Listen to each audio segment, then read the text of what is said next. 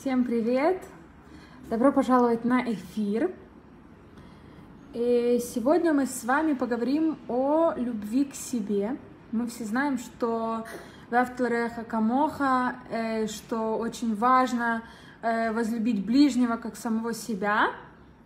И мы, в принципе, уже разбирали эту фразу, да, что это, э, если вкратце, то это значит не делай ближнему того, что ты не хочешь, чтобы сделали тебе. Например, ты не хочешь, чтобы тебе злословили, не злословь сам. Ты не хочешь, чтобы тебе стукнули по лбу, не стучи никого по лбу, да, ты не, в общем, то, что ты не хочешь, чтобы было тебе, не делай это твоему ближнему. И это, если вкратце, то смысл вот этой фразы «возлюби ближнего как самого себя».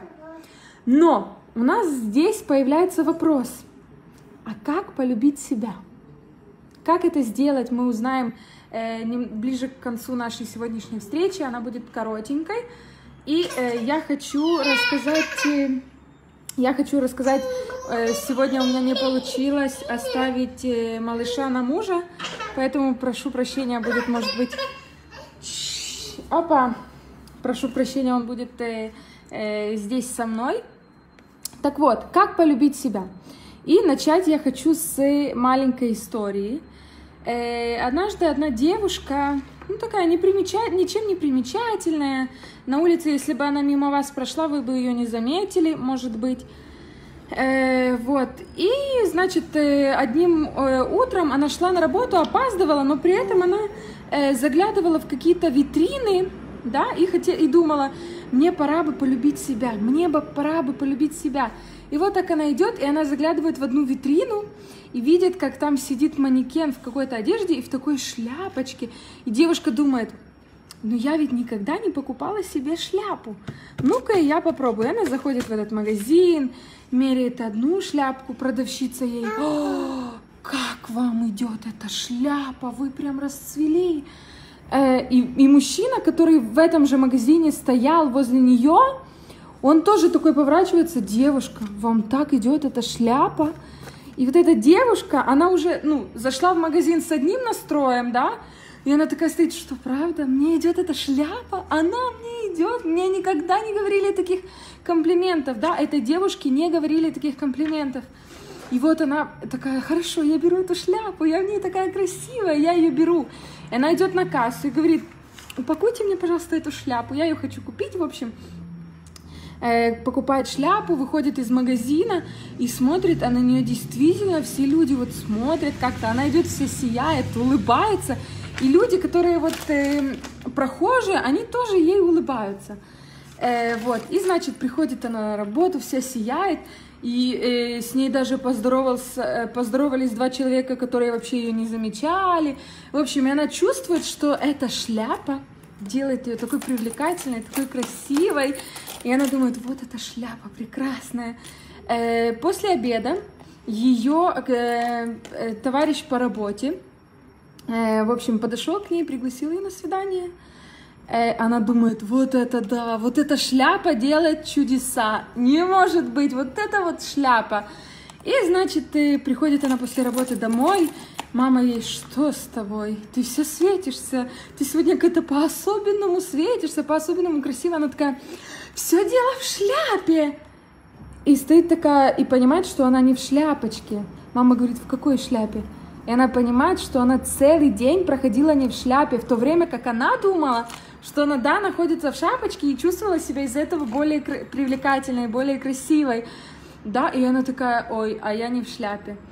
И эта история о том, что на самом деле не какая-то шляпочка делает нас красивой, а наше восприятие нас, то, как мы идем на улице, да, вот я по себе сужу, если я иду с хорошим настроением, да, мне реально весь мир кажется прекрасным, да, я вижу, как люди могут улыбнуться, и, в общем, это действительно вот эта вот самооценка, она, да, влияет. Теперь мы э, с вами начали уже говорить о любви к себе. Но понятно, что у нас у всех с детства есть комплексы, э, какие-то навеянные э, нашим э, нашими одноклассниками, да, ой, ты толстая, у тебя что-то не так с бровями, а что у тебя с глазами, ты, ты какая-то тощая, или там родители, ну, никто тебя замуж не возьмет, посмотри, там у тебя такой бардак в комнате, да, И вот эти вот э, клеймо, скажем так, это родные могут делать даже из любви к нам, да, но при этом это ломает нас, это ломает нашу сущность, да, это ломает э, любовь к себе. Теперь, как ее вернуть? Вернуть эту любовь можно только если прислушаться к себе. Да, во-первых, принять, ну окей, я такая, какая я есть, окей, мне дальше с этим жить, окей. Теперь мы попробуем найти во мне, каждый в себе, попробуем найти что-то хорошее. Вот что во мне есть хорошего? Э, там, не знаю, у меня красивые глаза, э, брови, да, или э, я очень добрая, да, вот не стесняться и пытаться находить вот эти вот хорошие качества. Но это все реально тяжелая-тяжелая работа, и я даже э, рекомендую, потому что я сейчас над этим работаю, я даже рекомендую начать не с написания того, э, что во мне классно и что во мне хорошо, а с написания списка, что меня радует, что меня делает счастливой. Вот буквально вчера мы с мужем сели, и я, и я говорю, ты знаешь, я писала такой список, что делает меня счастливой. Как я могу находиться по жизни счастливой, радостной, если я не акцентрирую на этом внимание, да? И я села, я сейчас вам даже, ну, я не знаю, я все, наверное, читать не буду, но я вам покажу о том, что я, да, сделала такой список. Я написала, что делает меня счастливой.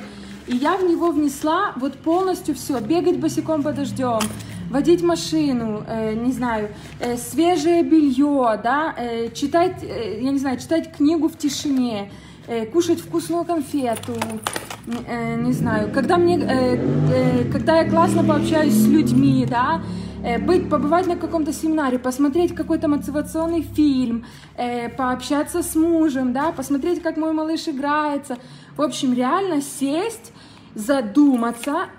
Это то, на что нужно не жалеть и тратить наше время. Вот просто заставить себя взять ручку. Понятно, что оно изначально тяжело.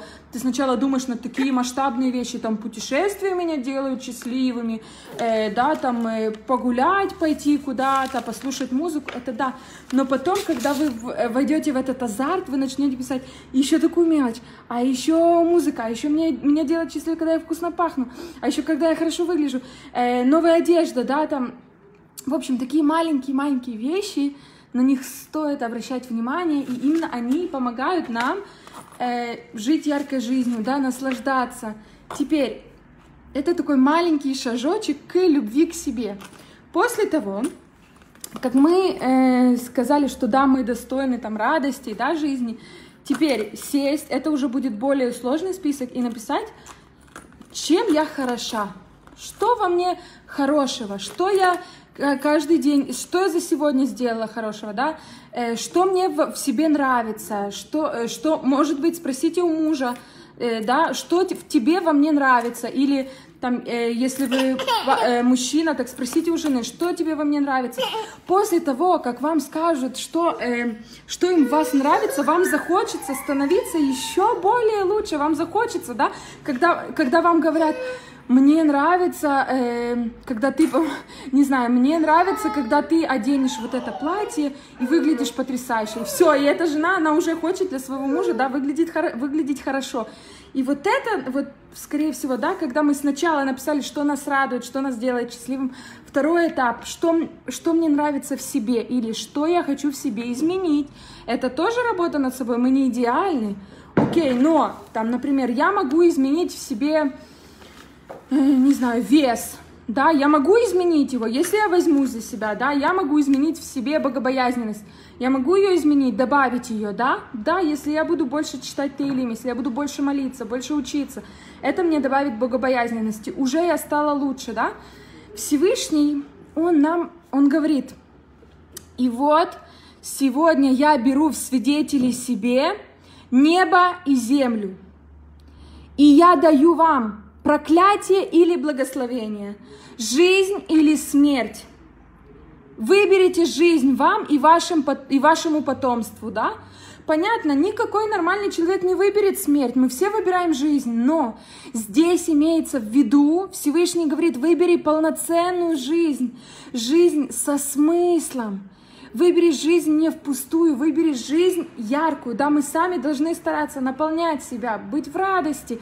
Вы знаете, с малышом сколько раз опускаются руки. Вот этот вот момент, если ты не побеждаешь свой ЦРРА, если ты его не хватаешь, да, если ты не работаешь над собой, если ты не замечаешь свои достоинства, свои плюсы, если ты их не обсуждаешь ни с кем, да, если ты не видишь, что тебя радует, то это надо, надо здесь поработать над собой.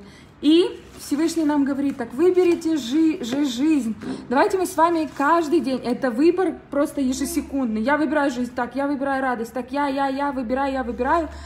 И без радошем, что пусть у нас у всех с вами получится выбирать по-настоящему достойную жизнь по-настоящему, по-настоящему насыщенную жизнь, да, яркую, по-настоящему пусть у нас получается радовать друг друга в семье, да, Радовать это делать то, что хочет второй. И когда каждый будет делать то, что хочет другой, они будут э, заполнять потребности друг друга, да. Пусть у нас будет получаться любить себя, любить окружающих, наполнять свою жизнь, жизнь жить по Торе. Э, пусть будет больше богобоязненности, и пусть Всевышний всем дает по нуждам, кому что нужно, пусть насыщает, благословляет нас и весь народ Израиля. И скажем Амейн. Спасибо вам большое за сегодняшний эфир.